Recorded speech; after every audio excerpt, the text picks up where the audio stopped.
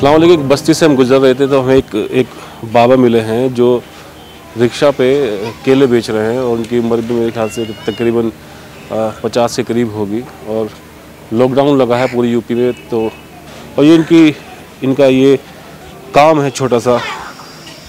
बाबा इधर क्या नाम है आपका? मोहम्मद शफीक। शफीक ये मास्क पूरा लगाइए। कहाँ के रहने वाले हैं? मतलब ये आप पहले क्या काम करते थे और ये फिर ये काम कैसे मजबूरी में आपने किया? मजबूरी में करना पड़ा जी पहले खीर दही बूंदी का काम था। जी जी।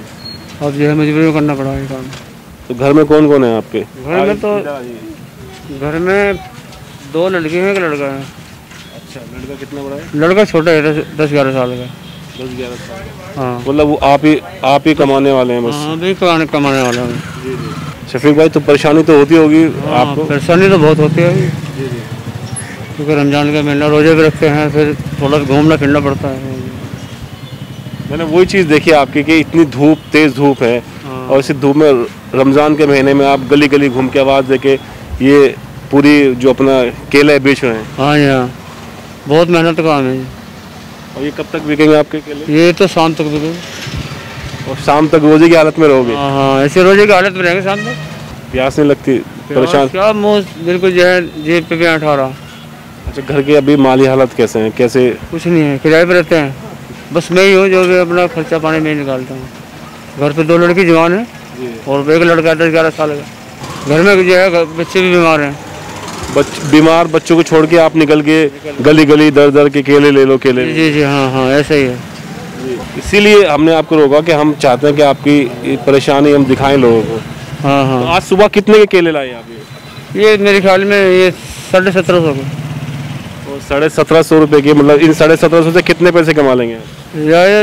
तीन सौ रुपये सत्रह सौ के माल के दो हज़ार हाँ, रुपये तीन सौ रुपये हाँ फिर खराब भी होते होंगे इसमें केले। हाँ खराब भी है अभी कितने केले बच गए आपके? अभी हैं पंद्रह सोलह दर्जन का बीस दर्जन का है बीस पच्चीस दर्जन बीस दर्जन केले का कितना हुआ?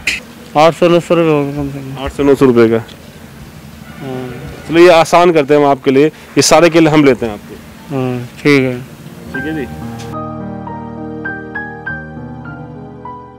चलो अब थोड़ी सी कोशिश की है हमने कि मैं अपने इन भाई का कुछ बोझ हल्का कर सकूँ क्योंकि रमज़ान है और ऊपर बहुत ज़्यादा धूप है और गली गली घूमकर ये अपना केला बेच रहे थे। तो एक छोटी सी कोशिश किया उस इस केले से ऐसे जो घर थे उनको भी हमने कुछ भेजा है। आपको कितना केला हुआ? इकतीस दर्जन। इकतीस दर्जन। तो इकतीस दर्जन का कितना हुआ? बारह सौ चालीस बारह सौ चालीस का हुआ है। जी जी। तो चालीस आपने बिल्कुल जायज़ रेट लगाया जी जी हाँ बिल्कुल जायज़ रेट। थोड़ा सा बढ़ा लो आप कोई बात नहीं। ना ना कोई बात नहीं बिल्कुल जायज़ रेट है।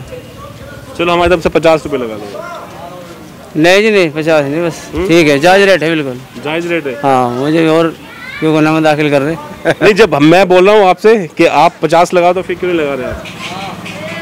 अच्छा से नहीं है ना? अच्छा नहीं है। हाँ अच्छे से लगा ना। बारह सौ चालीस इनका हुआ है अभी बारह सौ चालीस आपको हमें देने हैं ना? जी।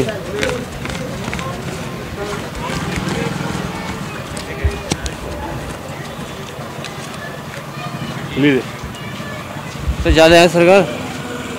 तो ज़्यादा है मेरे हिसाब से तो। ये पाँच हज़ार रुपये हैं। हाँ ये तो लगा और इन पाँच हज़ार रुपये से आप इस रमज़ान में हमारी तरफ़ से ईद बनाइएगा और अपने बच्चों में खुशियाँ बांटिएगा। वो तो बात ठीक है आपकी लेकिन बहुत ज़्यादा है जी तो। कोई ज़्यादा नहीं इनकी कोई कीमत नहीं है। अच्छा। जो खुशी मिलती है ना वो खुशी सबसे ऊपर है। चलो जी खुशी जो आपकी खुशी हमारी खुशी। तो उम्मीद है इन पाँच हज़ार से कम से कम आप अपने बच्चों के लिए कुछ ले पाएँगे। ठीक है ठीक है इंशाल्लाह। बहुत बहुत शुक्रिया।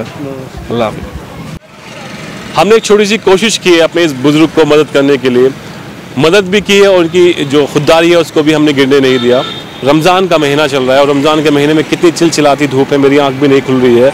और इस धूप के सीज़न में ये बुज़ुर्ग रोज़ा भी रखते हैं, रोज़ा रख के अपने परिवार के लिए अपना निकलते भी हैं कि परिवार के कुछ कमाएँगे तभी जाके कुछ दे पाएँगे, किराए का मकान है। छोटी सी कोशिश की है इस रमज़ान में कि मैं कुछ खुशियाँ बांट पाऊँ। शुरुआती दौर में वो कंफ्यूज थे कि मुशाहिद भाई, तुम अचानक से केले दे रहे हो, गिन नहीं रहे हो, मुझे नुकसान हो जाएगा। लेकिन जैसे हमने पैसे दिए तो बड़ी खुशी हुई उन्हें। इस रमज़ान आप भी खुशियाँ बांटिए। आपके इलाकों में भी ऐसे लोग मिलेंगे जिनको आपकी ज़रूरत है। आइए, बिना मतलब के भी कुछ खरीदारी कर लीजिए। ये रमज़ान मोहब्बत बांटने का महीना है। ये रमज़ान अपनी माफ़ी मांगने का महीना है। तो आइए, निकलिए। खूब लोगों की मदद कीजिए और अपनी आखिरत बनाइए। बहुत बहुत शुक्रिया।